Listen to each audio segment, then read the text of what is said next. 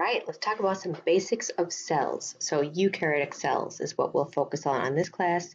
All eukaryotic cells have a nucleus. Human, all human cells are eukaryotic cells.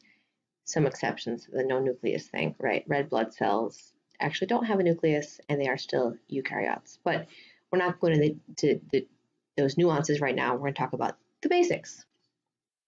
So let's start off by looking at a basic eukaryotic cell what almost all of them have. You can pause the video and label some components here. Plasma membrane, that's important. It's also called the cell membrane. The cell membrane is actually a phospholipid bilayer. So having these two different layers drawn here, two different circles, is slightly more accurate.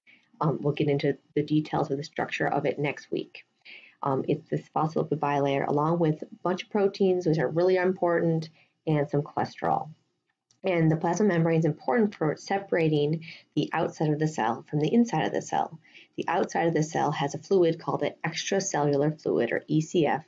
The inside of the cell has a fluid called the intracellular fluid, intra, inside, or ICF. The ICF is the same thing as cytosol. It's the aqueous fluid inside the cell. And the separation of inside and outside is important for maintaining homeostasis.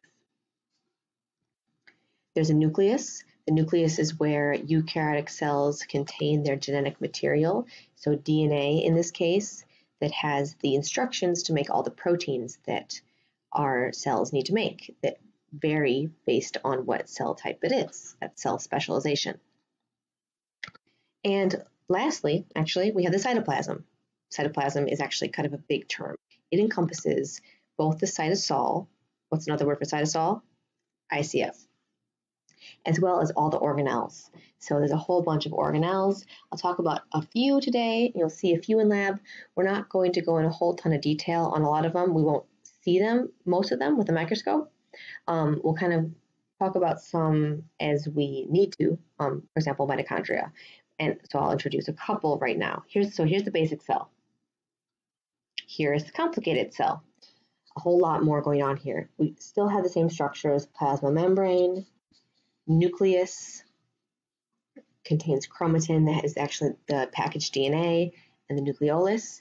And all this stuff in here is the cytoplasm.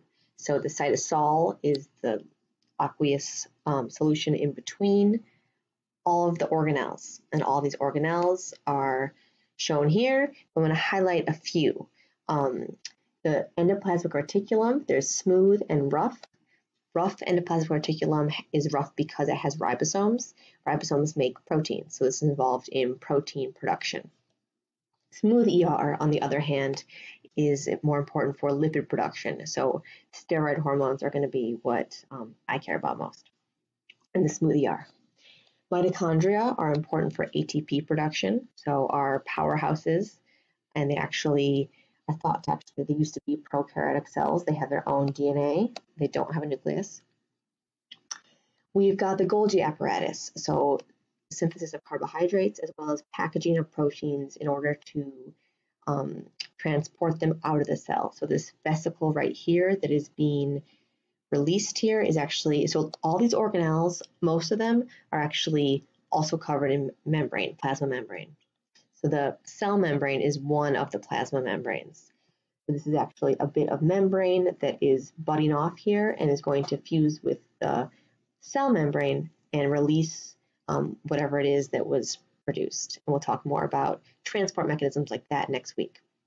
But the main point is Golgi apparatus vesicle packaging is one of its functions.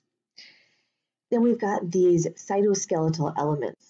So filaments is what I have for your key terms for now. Filaments is a pretty general term that refers to proteins that are inside the cell that are important for structure. Microtubules, intermediate filaments are shown here that actually give the cell shape. Um, myofilaments are going to be a specialized type in muscles that we'll talk about.